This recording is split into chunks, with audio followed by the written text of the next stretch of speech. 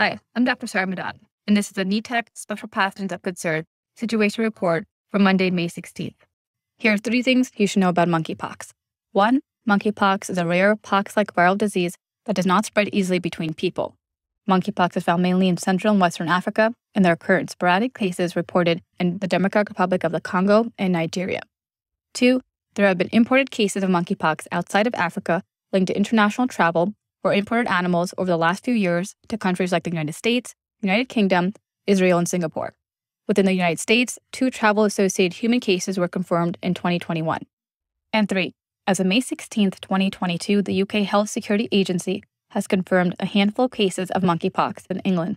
The first initial case was diagnosed on May 7th in a traveler from Nigeria, and additional cases have been detected with source investigations still ongoing. Currently, the risk is low for international spread. To learn more about monkeypox and view NETEC's healthcare related resources, visit us on the web at netec.org.